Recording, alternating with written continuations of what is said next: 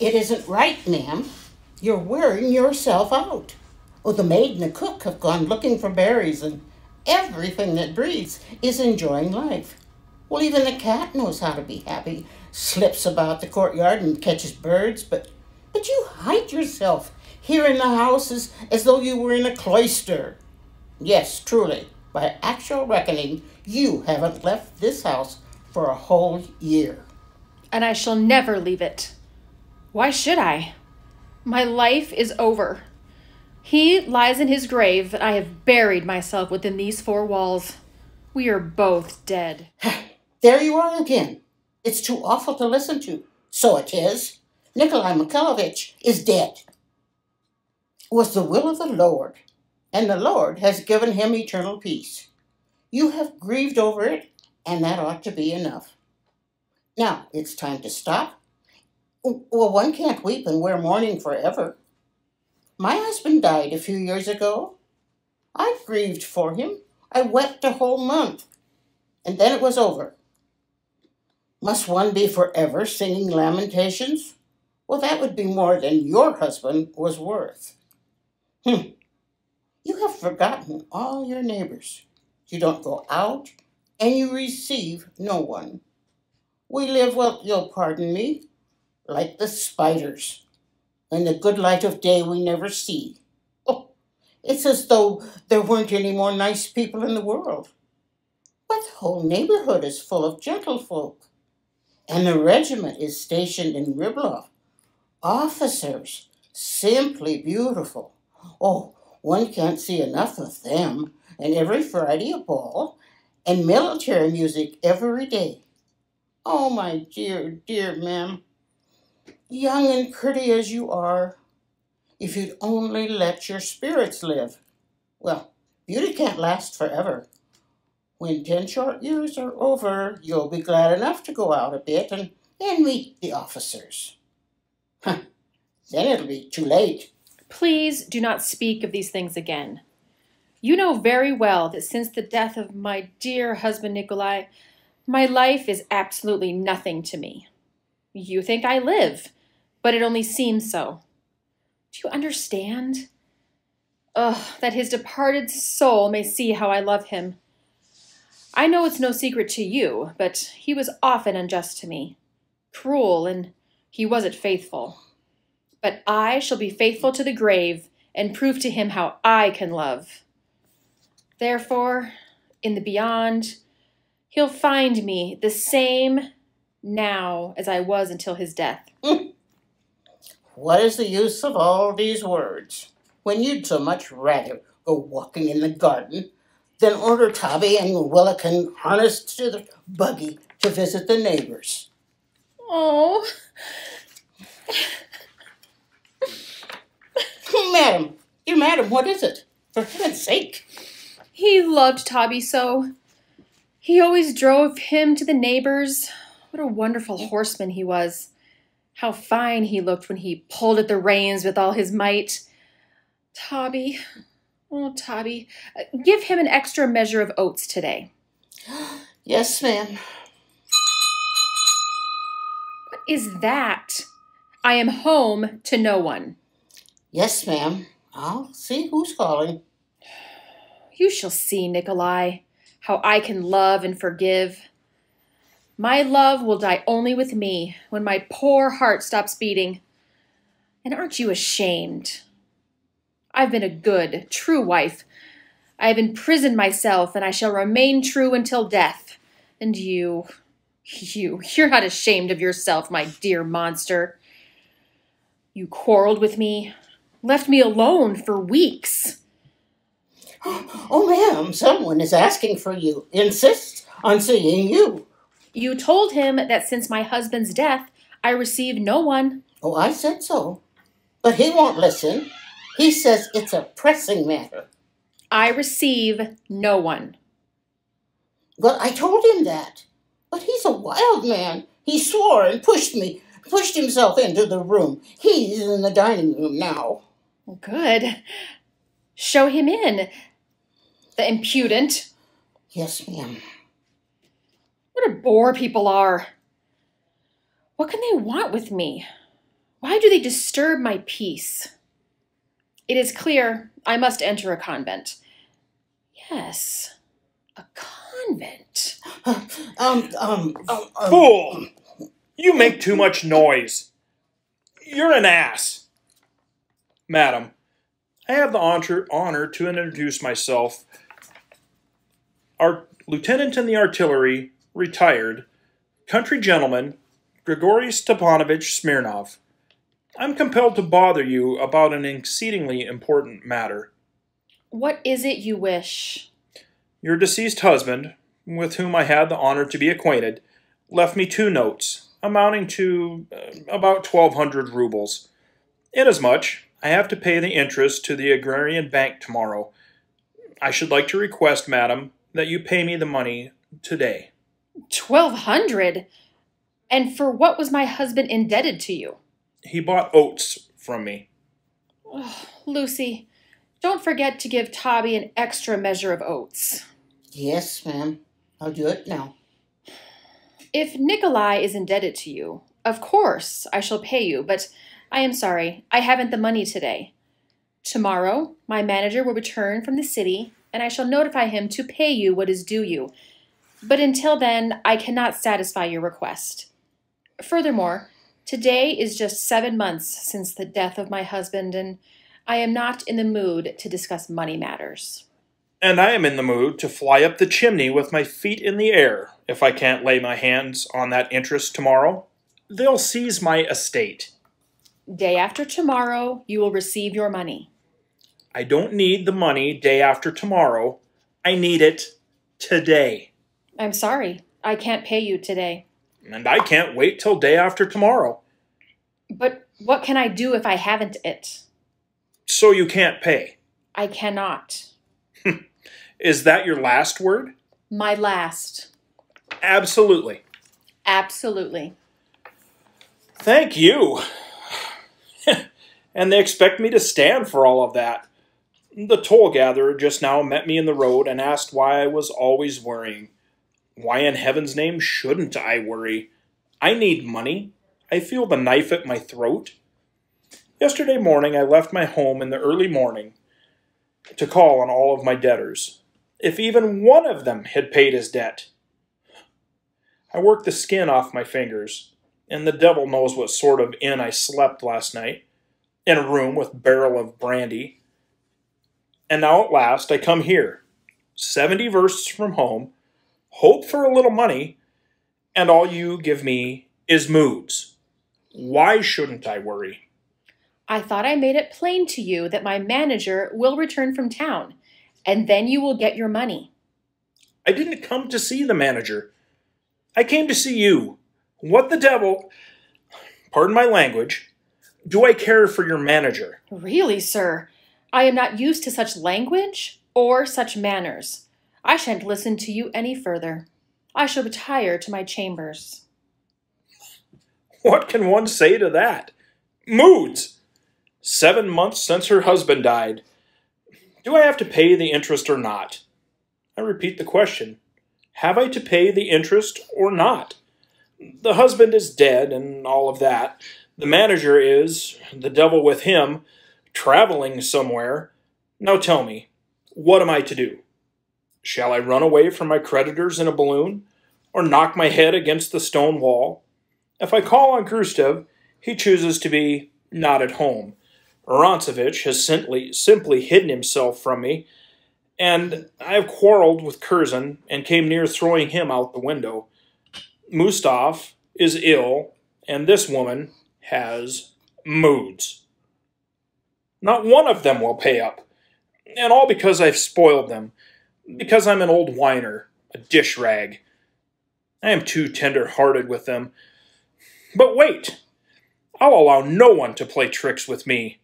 The devil with them all. I'll stay here and not budge until she pays. Oh, how angry I am. How terribly angry I am. Every tendon is trembling with anger, and I can hardly breathe. I'm even growing ill. Servant, what is it you want? bring me kvass or water. What are you waiting for? Go! Uh, yes, sir. Well, what can we do? She hasn't it on hand. What sort of logic is that? A fellow stands with his knife at his throat. He needs money. He is on the point of hanging himself, and she won't pay because she isn't in the mood to discuss money matters. Women's logic. That's why I never like to talk to women, and why I dislike it now. I would rather sit on a powder barrel than talk with a woman. Burr, I'm getting cold, cold as ice. This affair has made me so angry. I need only to see such a romantic creature from a distance to get so angry that I have cramps in my calves. It's enough to make one yell for help. Hmm. Here is your water. Madame is ill and is not receiving. Out! Oh. Ill and isn't receiving. Good day. All right, it isn't necessary. I won't receive either. I'll sit here and stay until she brings me that money. If she's ill a week, I'll sit here a week. If she's a year, I'll sit here a whole year. As heaven is my witness, I'll get that money. She won't disturb me with her mourning or her dimples. I know these dimples. It's awful. Unbearable heat, no money, didn't sleep last night, and now morning dresses with moods. My head aches. Perhaps I should have a drink. Yes, I must have a drink. Servant! What do you wish? Something to drink. As you wish. Look at me, a fine figure. No denying that. Dust, dirty boots, unwashed, uncombed, straw on my vest. The lady probably took me for a highwayman. I was a little impolite to come into her reception room in such clothes. Oh well, no harm done. I'm not here as a guest. I am a creditor, and there are no special costumes for creditors. Here's your drink, sir. Well, you take great liberties. What? Well, I just was looking at. Whom are you talking to? Keep quiet. Oh, nice mess. This fellow won't leave. And why won't you leave? Oh, Lord, how angry I am. Oh. Angry enough to throw mud at the whole world. I even feel ill. Servant! Oh, Mrs. Popov. Sir, in my solitude, I have become unaccustomed to the human voice, and I cannot stand the sound of loud talking. I beg you, please to cease disturbing my rest. Pay me my money, and I'll leave. I told you once, plainly, in your native tongue, that I haven't the money on hand. Wait until day after tomorrow. And I have also had the honor of informing you in your native tongue that I need the money. Not day after tomorrow, but today. If you don't pay me today, I shall have to hang myself tomorrow. But what can I do if I haven't the money? So you're not going to pay me it immediately. You're not. I cannot. All right. Then I'll sit here until I get that money. You will pay me day after tomorrow? Excellent. Here I stay until day after tomorrow. I ask you, do I have to pay the interest tomorrow or not? Or do you think I'm joking? Sir, I beg you, don't scream. This is not a stable. I am not talking about stables. I'm asking you whether I have to pay the interest tomorrow or not. You have no idea how to treat a lady. Oh, yes, I have. No, you have not. You are ill-bred, vulgar person. Respectable people don't speak so to ladies. How remarkable! How do you want me to speak to you? In French, perhaps? Madame, je vous prie. Pardon me for having to distur- having disturbed you. What beautiful weather we are having today, and how this morning becomes you. Not at all funny. I think it vulgar. Not at all funny. I think it vulgar. I don't understand how to behave in the company of ladies. Madam, in the course of my life, I have seen more women than you have sparrows. Three times I have fought duels for women. Twelve I've jilted. Nine jilted me. There was a time when I was played a fool, used honeyed language, bowed and scraped. I loved, suffered, sighed to the moon, melted in love's torments. I've loved passionately, loved to madness, loved in every key. Chattered like a magpie on emancipation, sacrificed half my fortune in the tender passion. Until now, the devil knows I've had enough of it. Your obedient servant will let you lead him around by the nose no more. Enough. Black eyes, passionate eyes, coral lips, dimples in cheeks, moonlight whispers, soft, modest sights. For all of that, madam, I wouldn't pay a kopeck. I'm not speaking of present company, but of women in general. From the tiniest to the greatest, they are conceited, hypocritical, chattering, odious, deceitful from top to toe, vain, petty, cruel, with maddening logic, and in this respect, please excuse my frankness, but one sparrow is worth ten of the aforementioned petticoat philosophers. When one of when one sees one of the romantic creatures before him, he imagines he is looking at some holy being so wonderful that its one breath could dissolve him in a sea of a thousand charms and delights. But if one looks into the soul, it's nothing but a common crocodile. But worst of all is that this crocodile imagines itself a masterpiece of creation, and that it has a monopoly on all of the tender passions. May the devil hang me upside down if there's anything to love about a woman. When she's in love, all she knows is how to complain and shed tears. If the man suffers and sacrifices, she swings her train about and leads him by the nose.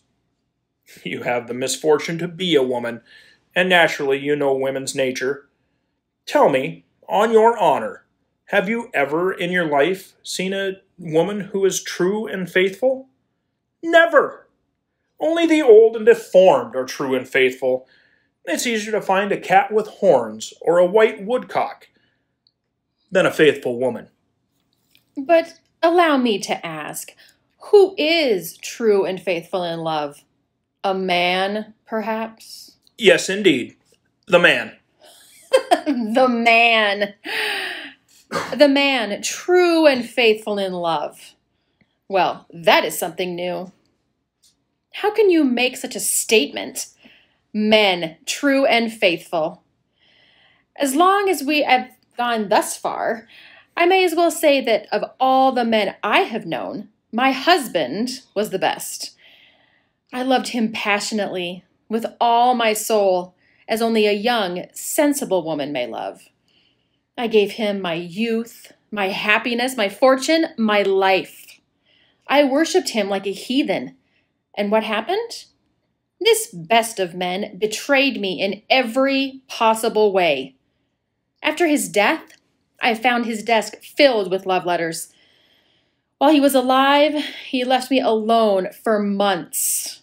It's horrible even to think about. He made love to other women in my very presence. He wasted my money and made fun of my feelings. And in spite of everything, I trusted him and was true to him. And more than that, he is dead, and I am still true to him. I have buried myself within these four walls, and I shall wear this mourning to my grave. mourning? What on earth do you take me for? As if I didn't know why you wore this black domino and why you buried yourself within these four walls. Oh, such a secret. So romantic. Some night pa- uh, will pass the castle, gaze up at the windows, and think to himself, Here dwells the mysterious Tamra, who, for all the love of her husband, has buried herself within the four walls. Oh, I understand the art. What? What do you mean by saying such things to me? You have buried yourself alive, but meanwhile, you haven't forgotten to powder your nose. How dare you speak so? Don't scream at me, please. I am not the manager. Allow me to call things by their right names. I am not a woman, and I am accustomed to speak out what I think. So please don't scream. I am not screaming. It is you who are screaming. Please, leave me. I beg you. Pay me the money, and I'll leave. I won't give you the money. You won't. You won't give me the money. I don't care what you do. You won't get a kopeck. Leave me. As I haven't had the pleasure of being either your husband or your fiance, please don't make a scene. I can't stand it. You are going to sit down? I already have. Kindly leave my house. Give me the money. I don't care to speak with impudent men. Leave. You aren't going. No, No. no. Very well. Yes? Lucy, please show this gentleman out. Sir, why don't you leave when you are ordered? What do you want? Who do you think you're talking to? I'll grind you to powder. Oh, good Lord. Oh, oh I'm ill. I need air. Where is Dashka? Dashka! Pelagia Dashka! They're all oh, gone. Oh, I'm ill. Water. Leave. Get out. Kindly be more polite. You are vulgar. You are a bore. A monster. What did you say? I said you're a bore. A monster. Permit me to ask, what right do you have to insult me? What of it? Do you think I am afraid of you? And you think because you're a romantic creature, you can insult me without being punished? I challenge you. Oh, oh, merciful heavens. Water. We'll have a duel. Do you think because you have big fists and a steer's neck, I am afraid of you? I allow no one to insult me. I make no exception because you're a woman, one of the weaker sex. Bore. Bore. Bore. It is high time to do away with old superstition that is only the man who is forced to give satisfaction. If there is equity at all, let there be equity on all things. There's a limit. You wish to fight a duel?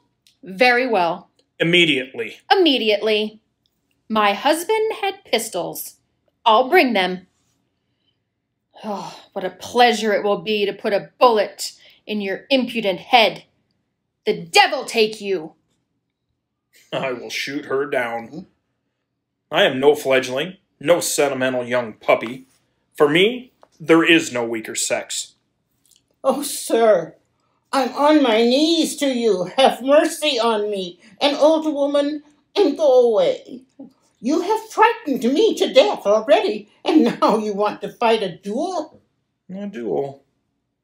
That's equity, emancipation. That way sexes are made equal. I'll shoot her down as a matter of principle. What can a person say to such a woman? The devil take you. I'll put a bullet in your impudent head. What can one say to that? She was angry. Her eyes blazed. She accepted the challenge. On my honor, it's the first time in my life I've ever saw such a woman. Oh, sir, go away. Just go away. That is a woman. I can understand her. A real woman. No shilly shallying, but fire, powder, and noise. It would be a pity to shoot a woman like that. Sir, go away. Here are the pistols. But before we have our duel, please show me how to shoot. I have never had a pistol in my hand before. God be merciful and have pity upon us. I'll go down and get the gardener and the coachman. Why has this horror come to us? Okay, you see, there are different kinds. There are special dueling pistols with cap and ball. but these are revolvers, Smith and Wesson, with ejectors, fine pistols. A pair like this would cost at least 90 rubles. This is the way to hold the revolver. Those eyes. Those eyes. A real woman. So I hold the revolver like this? Yes, that way.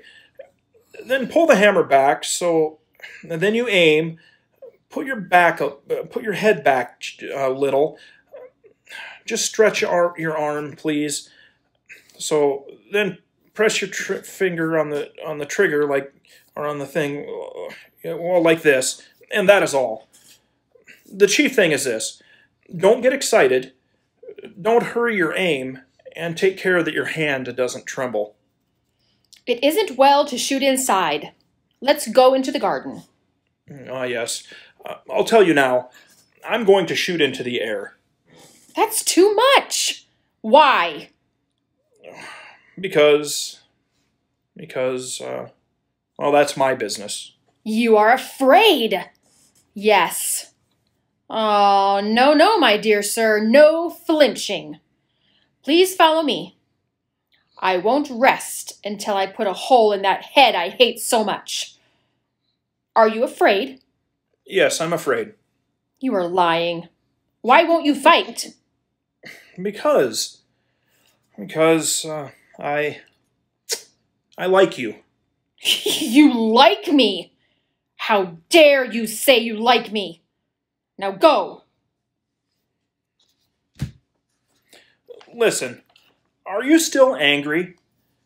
I was mad as the devil, but please understand me. How can I express myself? Uh, the thing is like this, such as things are. Now it's my fault you owe me money. I like you. Do you understand? I I'm almost in love. Leave. I hate you.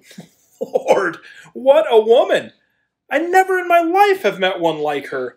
I'm lost, ruined. I've been caught like a mouse in a trap. Go, or I'll shoot. Shoot! You have no idea what happiness it would be to die in the sight of those beautiful eyes, to die from the revolver in this little velvet hand. I'm mad. Consider it and decide immediately, for if I go now, we shall never see each other again. Decide. Speak. I am a noble, a respectable man. I have an income of ten thousand. I can shoot a coin thrown into the air. I own some fine horses. Will you be my wife? I'll shoot. Oh, my mind is not clear. I can't understand. Uh, servant, water! I have fallen in love like any young man. I love you. I love you as I have never loved before. Twelve women I've jilted, nine jilted me, but not one of them did I love as I love you. I am conquered, lost. I lie at your feet like a fool and beg for your hand. Shame and disgrace. For five years I haven't been in love, and I've thanked the Lord for it. Now I am caught, like a carriage tongue in another carriage. I beg for your hand. Yes or no? Will you? Fine. Wait a minute. Well? Nothing. You may go. But wait a minute. No, go on, go on. I, I hate you.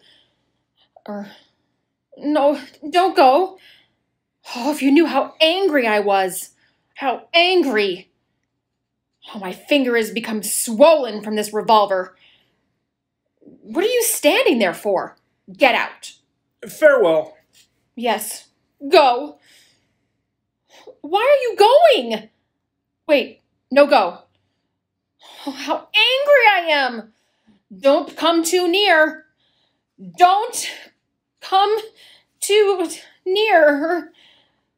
Come no nearer. How angry I am with myself. Fall in love with a like a schoolboy. Throw myself on my knees. I've got a chill. I love you. This is fine. All I needed was to fall in love. Tomorrow I have to pay my interest, and the hay harvest has begun. And then you appear. I can never forgive myself. Go away. Take your hands off me. I hate you. You. This is. Right where you belong, in my arms. Oh, merciful heaven.